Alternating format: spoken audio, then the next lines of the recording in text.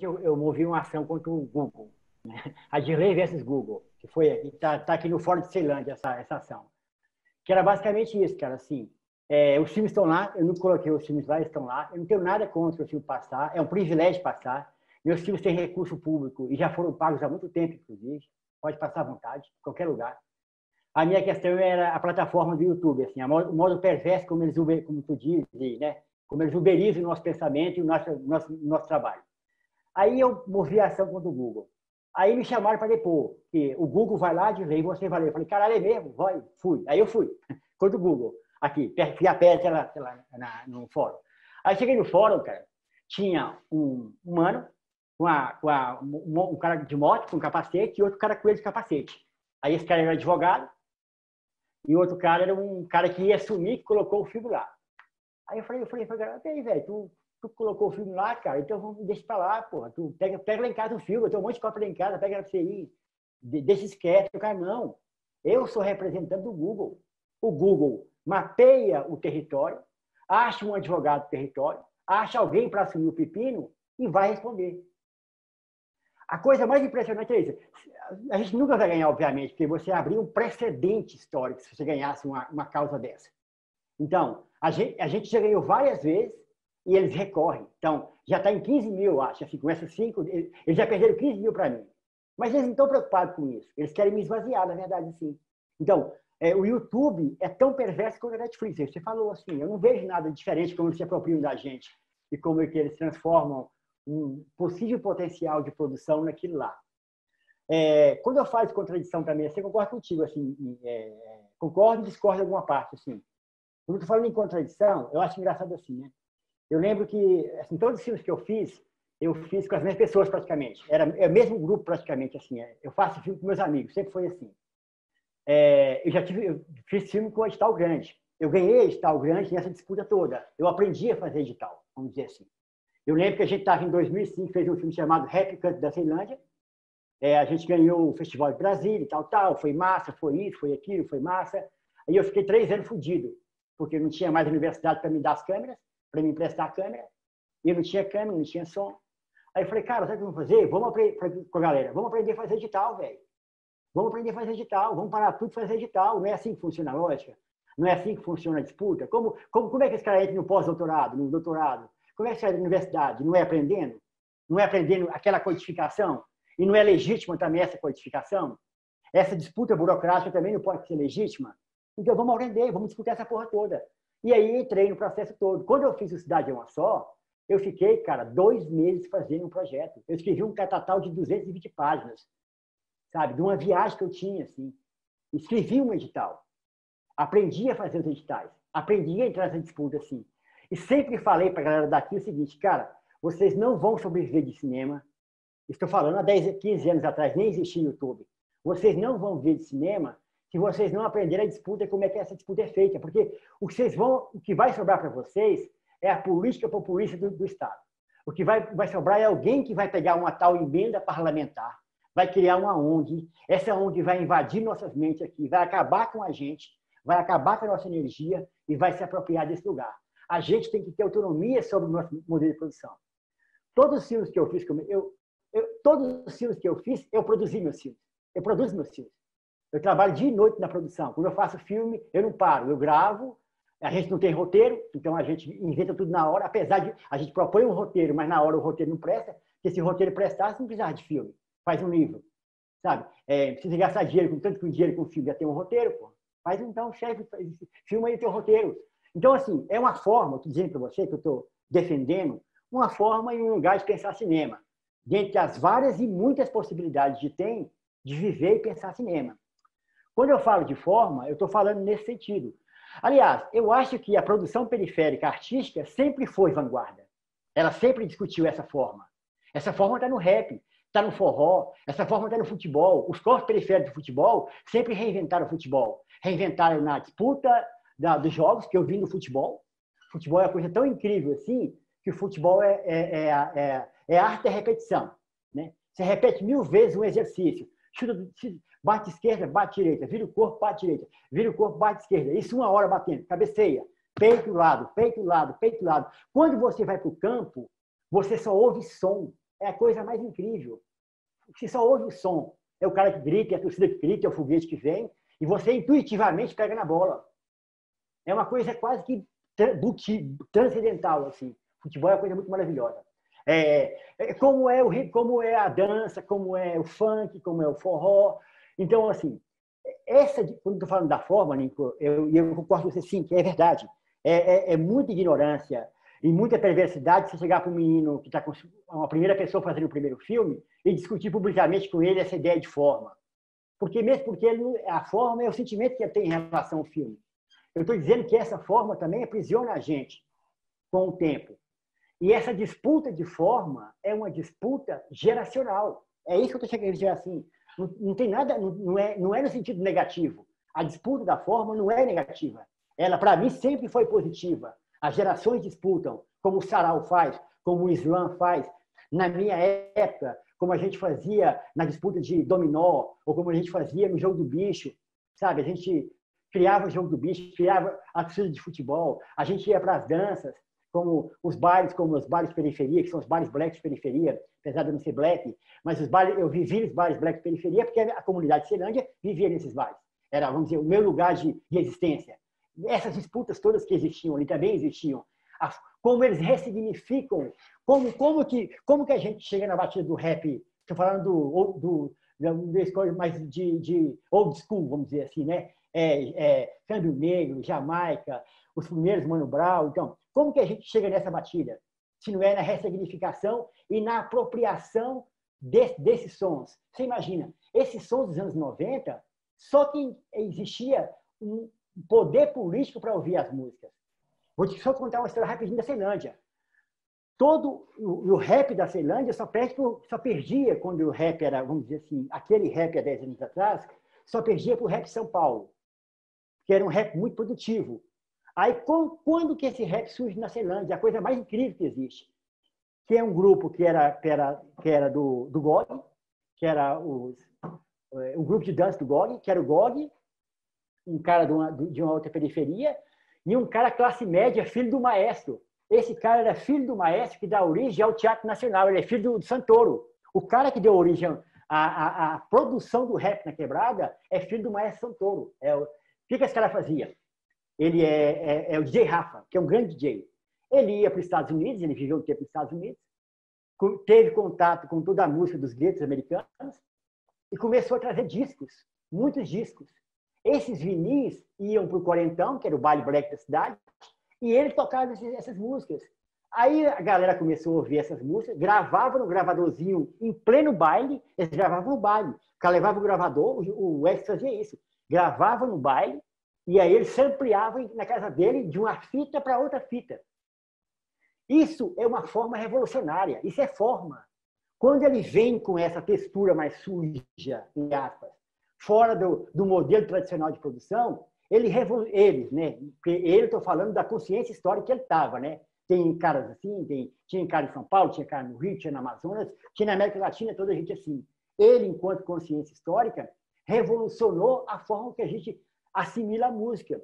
Quando eu falo do cinema, eu acho que é como tu falou também. É essa possibilidade que tem a galera nova, essa turma nova, de fazer o filme no celular, de fazer o filme na linguagem que eles têm, e de não ter preocupação formal com montagem, de não ter preocupação formal com captação de som, mixagem de som, é que traz uma outra forma ao processo.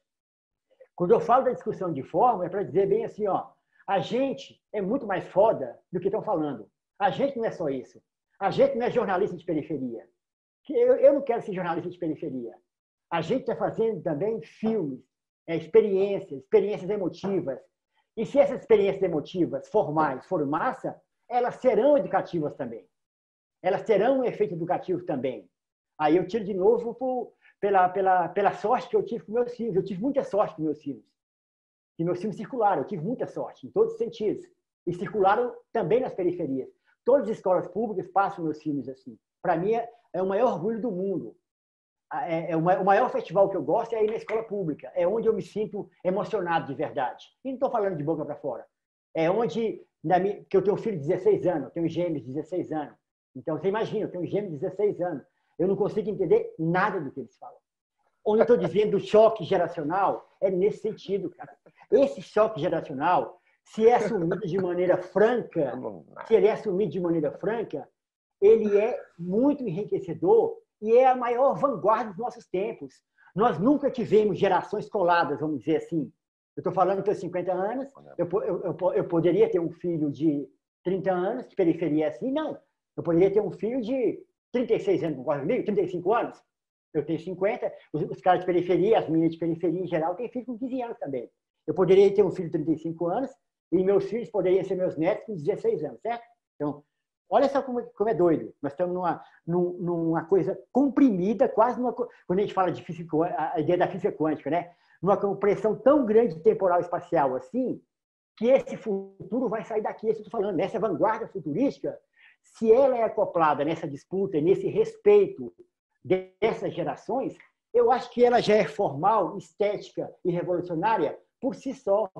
Quando o cara do Carreado de Cinema vem ver teus filmes e faz um puta história teus filmes, ou quando os caras lá de Locarno pegam meu filme e põem meu filme no Locarno, sem eu nunca ter feito, eu não tenho quem intermedia, eu não tenho lobby, ele pegou meu filme, porque ele pediu meu filme, eu mandei um filme para ele, ele me mandou páginas e páginas falando bem assim de lei. Se você mudar isso, aquilo, a gente gosta muito do teu filme, acha que o teu filme é muito lento, o Era Uma Vez Brasília, acha que o teu filme é incompreensível, a gente gosta, mas não sabe que gosta, e se você mudar esses quatro elementos daqui, a gente coloca na mostra principal de Locar, imagina. Aí eu mandei e-mail para ele assim, ó, primeiro que ele foi super generoso comigo, foi super honesto comigo, foi super franco e foi um interlocutor, entendeu? Esse cara que é poderoso, que é elite cinema mundial, ele teve a generosidade de ser interlocutor comigo. Ele está discutindo o meu filme comigo, que já é um privilégio discutir o um filme com alguém, seja com um cara de Locarno, seja com um cara da esquina, seja com meus amigos da esquina, quando eles discutem. Qualquer discussão do filme é um privilégio muito grande. Alguém olhar teu filme e debruçar sobre teu filme é um privilégio muito grande. Quando o tiozinho falou que viu meu filme na porra da Netflix que eu odeio, pra, olha a contradição aí. Eu falo mal da Netflix 24 horas por dia. Os meus filmes estão na Netflix. Os caras da minha rua veem o filme da Netflix. O tiozinho viu o filme da Netflix e falou que gostou pra caralho. E falou de ordem sincera. Falou, eu dormi no metade do filme assim, mas o que eu vi eu gostei pra caralho. Ele dorme e acorda, dorme e acorda. E tá valendo. É isso que eu quero dizer. A gente não está aqui para ser publicitário, no sentido de nós temos que construir a ordem da fruição do cinema. Essa, quando eu falei das três, das três gerações, se elas se acoplassem no sentido franco. Quando eu falo periferia, é porque não sei, não sei falar o termo. Subúrbio, a gente que está aqui, da quebrada, não sei. Eu falo periferia, falo quebrada, falo subúrbio.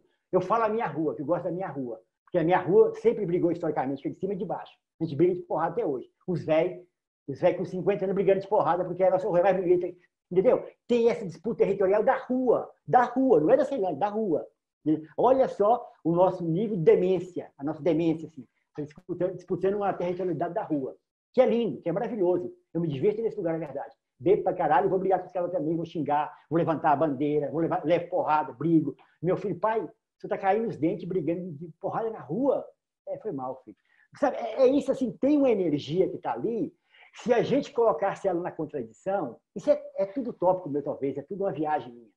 Se a gente colocasse isso na contradição, isso dava um puta, uma puta vanguarda artística. E não é porque a gente é bom, é porque são três gerações que têm muita energia, que estão no momento histórico único do país. Nós estamos num momento histórico que nunca, pelo menos eu nunca vi, uma extrema-direita populista que é quase popular, popular, uma extrema-direita populista que é quase popular e se brincar vai ser popular. Olha o que eu estou falando.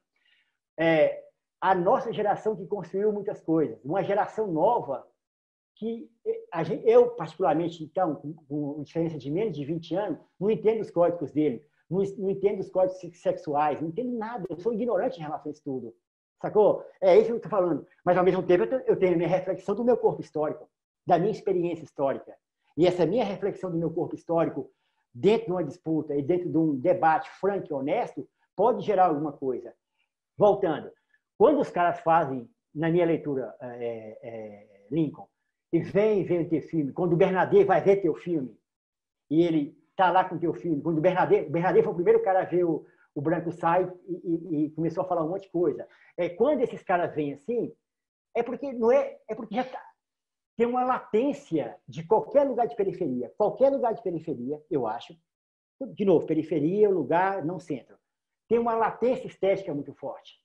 Quando qualquer é, produção cultural, música, teatro, literatura, é feito com tesão, com prazer, e olha que não estou desconsiderando a fome. A fome está aqui na gente há muito tempo. Eu não posso falar que eu tenho fome. Seria uma falta de respeito. Mas a minha geração passou fome. Meus pais passaram fome. É, quando combina essas coisas todas juntas, a gente tem uma potência. Quando um filme, na minha leitura, é feito com essa emoção, com essa solidariedade com os pares, né? Porque também é muito fácil, assim, eu gosto contigo. Por eu, eu, o último filme que eu, que eu fiz, que fiz com a Joana Pimenta, que é a co-diretora, a gente é, era um filme grande, em que existia orçamentos para pagar as atrizes com valor, como exemplo, da Globo. O cachê para cada atriz era 40 mil reais. Para cada atriz. O cachê da atriz era 40 mil reais. Cinco cachês de 40 mil reais. A gente falou o seguinte: agora vamos achar, de qualquer forma, cinco atrizes periféricas. Vamos, foda-se, vamos achar cinco atrizes periféricas. Que a gente vai construir uma ideia, é, é, é um passo pequeno, de que elas vão se apresentar em público, ou na festa de família, ou na igreja, e falarem assim: eu sou atriz, faço cinema, recebo mensalmente por ser atriz. O meu ofício é ser atriz. Então, a disputa de um edital, na minha leitura, é a transformação desse edital nos meios de produção, nos modelos de produção, naquela discussão em que a gente foi alimentado por ela.